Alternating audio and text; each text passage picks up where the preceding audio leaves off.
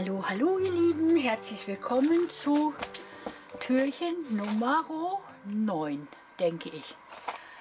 Genau, gestern hatten wir 8 und heute haben wir 9. Da bin ich ja mal... Ah, nee, oh Gott. Also, mm, nee, das brauche ich überhaupt nicht. Ich mag sowas überhaupt nicht. Ich finde sowas ganz gruselig. Die Farben sind schrecklich. Ähm, mein Geschmack ist es nicht. Wollen wir es ganz freundlich ausdrücken. Geht in die verschenkte Geschichte rein. Machen wir sofort ein großes Kreuz drauf, dann weiß ich sofort Bescheid. Kann jemand anders Freude dran haben. Okay, wir sind heute bei Nummer 8, aber ich habe noch zwei alte Landlust von 18 und von 14 gefunden und werde die gerade mal ganz kurz durchforsten. Ähm, vielleicht finde ich irgendwas, was wir gebrauchen können. Hm, das mache ich mal eben ohne euch, damit es nicht zu langweilig wird, ja?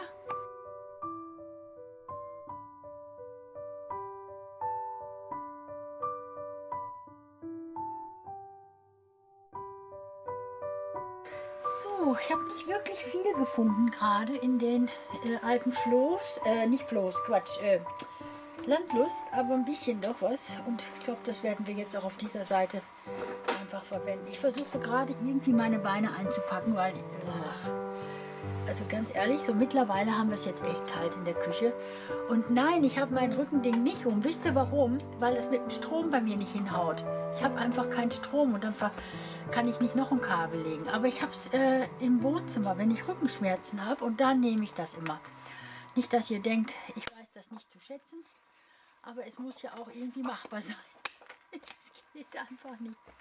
So, das wäre jetzt achte, das wäre der neunte, ne? hatten wir gesagt. Ich bin schon wieder gedanklich. Das ist neunte. Neunte ist Joy. So, ich habe rausgenommen und zwar gefällt mir dieses hier sehr, sehr gut und diese, diese Lichter gefallen mir sehr, sehr gut. Jetzt wollen wir mal schauen. Oh ja, passt mal auf. Das große würde ich jetzt persönlich jetzt auf die Ne, das ist unsere Nummer, die brauchen wir auf jeden Fall. Das große würde ich vielleicht so auf die Rückseite geben. Und die kleinen würde ich dann versuchen auf die Vorderseite zu geben. Ist das noch machbar so oder ist das blöd? Hm. Also ich möchte auf jeden Fall das nicht verlieren und das nicht verlieren, ne? das ist klar. Hm, wir nehmen nur eins und dann müssen wir da was drunter machen, ähm, damit wir da, ähm, sag mal schnell, damit wir da was einschieben können. Reicht das zufällig aus? Was wir, ah, guck mal, das ist auch noch ganz toll, das Papier hier. So ist es, würde genau passen. Ach, das ist ein Ding. Passt ganz genau. Dann nehmen wir das. Das. Das wird auch wieder eine schnellere Geschichte vielleicht. Mal gucken.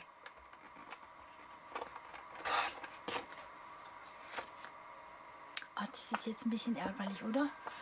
Das schöne Motiv. oh, Petra, mach es doch nicht kaputt. Sie kriegt wieder alles kaputt, diese Frau. Oh, nee, na, nee, das möchte ich jetzt wirklich ganz gern aufheben. Das ist so schön. Hm. Ja, wir, wir, wir versuchen es dann gerade nochmal. Wir werden schon irgendwie, wir werden schon irgendwas schaffen hier. Hm. Bubbles. Ich sage nur Bubbles, ja? Also, wir haben jetzt hier ein ganz niedliches kleines Dings. Das kleben wir auf, ja. Da brauchen wir auch gar nicht viel machen, weil die Seite schon sehr, sehr schön und bunt ist hier. Ja, ich bin heute voll im Stress. Ist schon gleich nicht mehr normal, weil ich komme so ein bisschen bisschen in Verdruck und denke, oh Gott, oh Gott, ob ich die Filmerei schaffe für den Adventskalender. Sage ich euch ganz ehrlich. Es ist heute der 23. November und ich filme den 9. In der Hoffnung, dass ich, ups, bisschen gerade, wäre schon ganz nett. In der Hoffnung, dass ich es irgendwie schaffe, jetzt jeden Tag zwei bis drei Filme rauszuballern. ja, ist nicht ganz so einfach. Heute Morgen habe ich den ganzen Morgen damit verbracht, ganz wirklich, ganzen Morgen Sachen ranzukarren. Ich habe da mal spaßeshalber mal, weil es mich auch interessiert, mal einen Strich drunter gesetzt und ähm, da stellte ich dann fest, dass ich, ähm, also das gefällt mir, da muss nicht mehr drauf. Das wird sonst, geht gar nicht, ne? Das lassen wir wie es ist. Wir nehmen nur noch so ein ganz klein bisschen Dings hier, Vintage Foto und damit ist es dann erledigt, hier der, der 9. Oder was meint ihr? Doch, ganz bestimmt, das reicht nicht schon. Für mich ist es genug. Man muss nicht alles so überladen, da muss nicht immer 100 Tonnen drauf. Das ist auch schön, wenn man es nur so macht. So, und den kann ich auch gleich ein bisschen ein, einkrömpeln. Ein bisschen rosa rausnehmen, ein bisschen rosa weg. Und äh, die Ecke noch natürlich nicht vergessen, bitteschön. Ja, dann habe ich Futter rangeschleppt, Dosenfutter. Dann habe ich Trockenfutter rangeschleppt, jede Menge. Und dann habe ich, ähm, ähm, dann habe ich äh, Vogelfutter vor allen Dingen geholt für draußen. Da muss jetzt ja auch ordentlich gefüttert werden. Es wird, ist richtig kalt, jetzt auch schon. Heute Nacht war bei uns schon richtig Frost, als ich gestern Abend noch Streu rausbrachte auf den, auf den Komposthaufen. Da ähm, war die Wiese schon gefroren. Da sieht man ne? Es ist wirklich, es ist wirklich so. So, jetzt muss ich mal gucken. Ich möchte nicht so viel verlieren hier. Machen wir das so vielleicht? Was meint ihr? So? So? Ja. Und dann können wir da auch gleich den, den Zettel reinschieben. Den Zettel. Schön, dass ich diesen Block habe. Also freue ich mich jetzt gerade richtig doll drüber. Ja, kann ich jetzt wirklich gut gebrauchen. Ganz ehrlich, finde ich richtig klasse. Farbe vom Papier passt sich an bei dieser Geschichte. Und man kann also, wenn man, äh, der Loch, feines Papier nicht sehr, nicht sehr gut. Das muss ich sagen. Da gibt es Sachen, die sind schöner. Seht ihr, ich muss fast alles nacharbeiten. Da, da äh, Pappe, diese, diese Pappe, die ich vorne drauf gemacht habe, von dem Buchcover, diese wirklich wirklich dicke, fette Pappe, hat er, hat er äh, die Ecken abgerundet wie nix. Ne? Ja, also ohne großen Zinnober. Naja.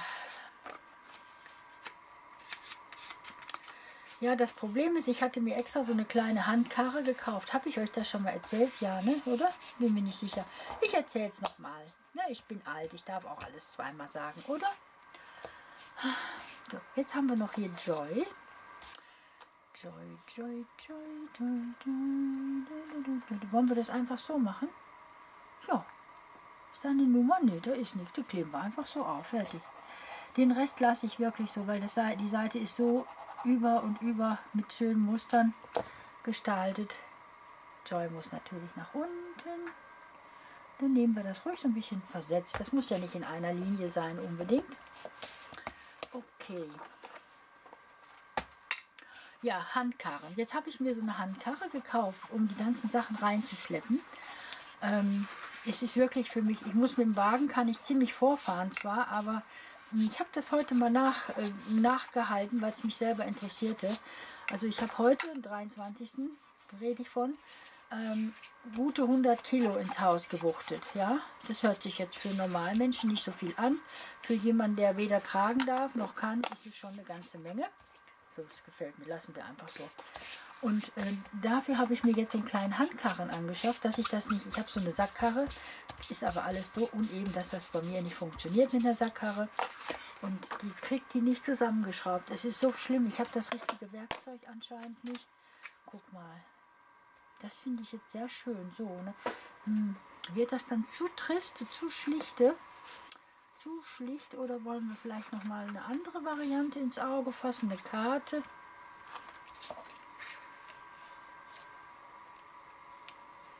Wäre auch schön, oder? Was meint ihr? Dann hätten wir die schöne... Oder warte mal, wir haben auch noch diese hier mit dem Schneemann. Die finde ich auch so süß. Kriegen wir das irgendwie hin? Lasst mich doch mal bitte überlegen. Es muss natürlich ein ganzes Stück kleiner Wir nehmen das, ja, damit das so ein bisschen, bisschen mehr Farbe kriegt alles, ja. Wir nehmen das und dann ribbeln wir das ab, so. halbe Baum. Ich weiß nicht, wo ich die her habe. Das sind immer solche Sachen, die sie mir einfach schicken, damit ich spenden soll. Das, aber es ist dann immer so, so schade. Es ist, glaube ich, mit, mit Fuß oder Hand oder was weiß ich gemalt oder Mund oder irgend sowas. Aber äh, ganz ehrlich, ich gehe da nicht drauf ein, wenn man mir ungefragt irgendwas ins Haus schickt, um Spenden zu generieren. Da gehe ich persönlich nicht drauf ein. Ich mag das nicht. Und ähm, ich habe auch so genug, wo ich mein Geld lasse. Braucht da jetzt nicht unbedingt noch solche Sachen. Wo ist meine andere Schere? Da ist die andere Schere. Die schneiden wir jetzt leider Gottes hier unten ab, sonst wird es uns schade, weil die sitzt in so einem alten Ausstechförmchen. Aber das wird sonst zu... Hm. Jetzt müssen wir nur überlegen, ob wir da vielleicht... Hm, wartet mal kurz. Was habe ich denn hier? Ein Moment, ich hole mal gerade kurz was hoch. Ich merke gerade, dass ich andauernd kurz sage. Ich weiß nicht, warum ich immer kurz sage. Ich habe von euch doch so schöne Naturpapiere und, und, und ähm, andere schöne Sachen bekommen. Also mal gucken, ob wir irgend... Das ist Vellum. Habe ich zum Beispiel so ein Vellum-Käppchen. Hör mal, das wäre, das ist doch elegant. Das, das wäre es doch. Das ist auch schön. Wunderbar. Gucke mal. Gucke mal da. Das ist doch wunderbar. Ja, gucke mal.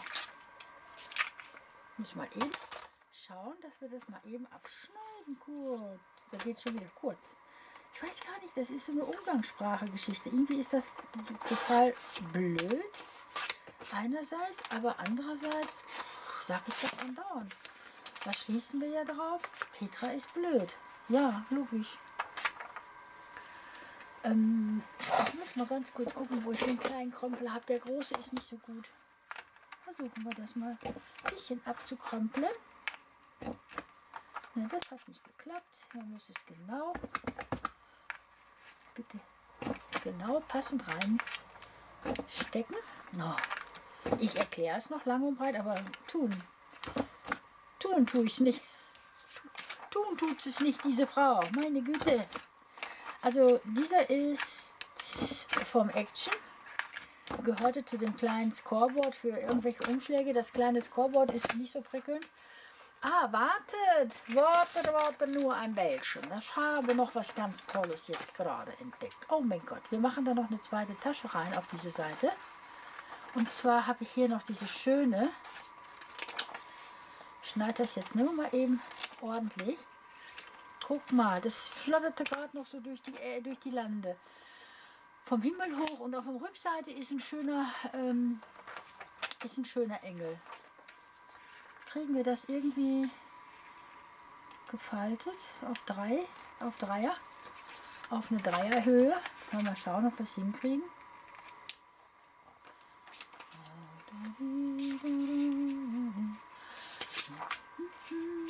Das kriegen wir hin. Das machen wir. Das machen wir so. Wunderschön. Guck mal, da haben wir das auch noch dabei.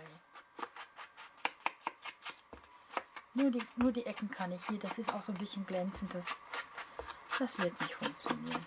Äh, wir können, nee, ich möchte nicht, ich möchte nicht das Gelbe weg haben. Nee, nee, das lassen wir jetzt so, wie es ist. Und ähm, das kleben wir einfach jetzt so ein, wie es ist. Fertig aus. Fertig ist das geschehen.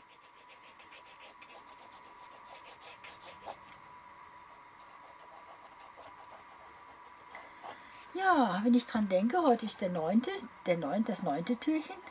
Morgen ist das zehnte Türchen. Und morgen werde ich 64. Ach du liebe Zeit. Ich weiß es ja auch nicht. Ehrlich gesagt, ich weiß es ja auch nicht. Ist das nicht ein bisschen arg doll, 64? Ein bisschen arg doll? Ja, ist schon ein bisschen arg doll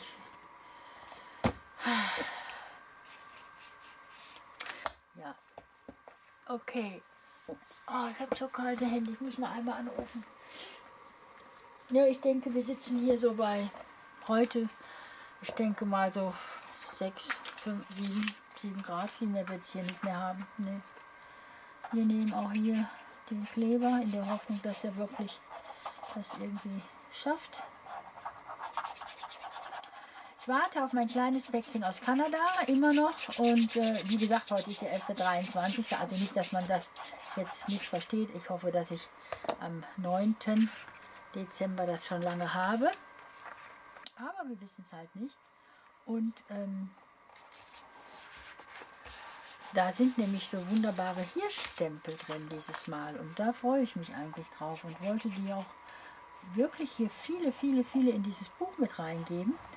Aber wie gesagt, ich habe das Paket nicht. Es hat ewig und ewig in, äh, in den USA festgehangen und jetzt ist es seit zwei Tagen in Deutschland und hängt dann irgendwo fest. Hm.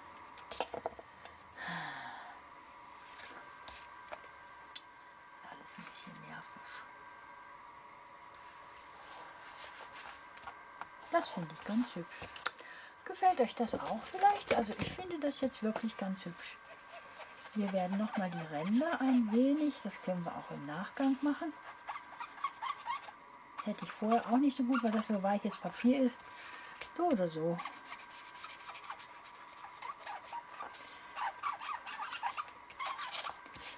Quiek, quiek, quiek, quiek, quiek, quiek. Und da ist auch noch Kuchen dabei. So, guckt mal. Das ist schon das Türchen Nummer 9. Fast alt, fast fertig, nicht ganz fast, weil wir natürlich auch noch die Ecken und diese andere Kerze werden wir auf jeden Fall noch einbringen bei nächster Gelegenheit.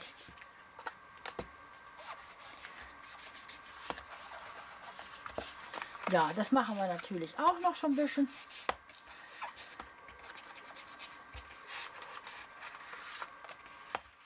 Warte mal. Gleich haben wir es. Das war jetzt auch keine große Geschichte, ich weiß, aber ähm, das Leben besteht eben nicht nur aus Highlights. Ich versuche euch das ja auch immer wieder zu erklären. So, da habe ich jetzt das und da habe ich jetzt das.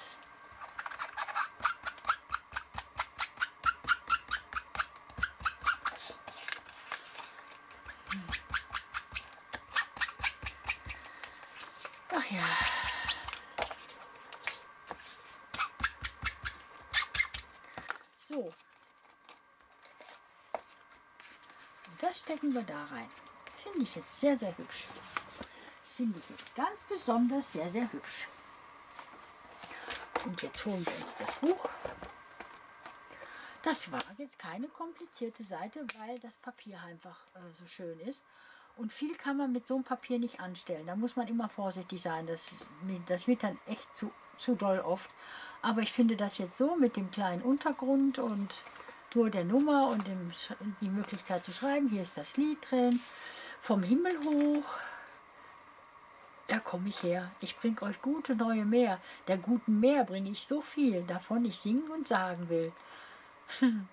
Martin Luther, euch ist ein Kindlein heut geboren, von einer Jungfrau auserkoren, ein Kindlein so zart und fein, das soll eure Freud und Wonne sein.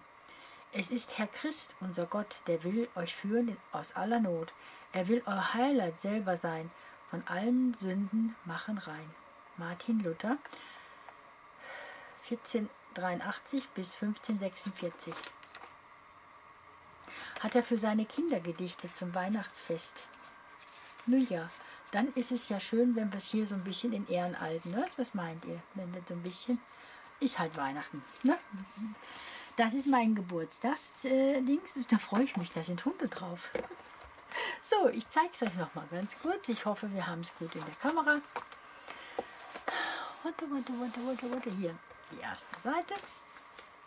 Wie gesagt, die Rückseite. Wie gesagt. Und das war's. Das war das Türchen Nummer 9. Ich wünsche euch einen schönen 9. Dezember. Hoffentlich ist alles gesund und munter. Ihr selber und alle anderen bei euch zu Hause auch. Ja, ich wünsche euch nur alles Gute, alles Liebe. Denkt dran, 0.15 Uhr an jedem Tag ein neues Türchen. Bis morgen. Tschüss.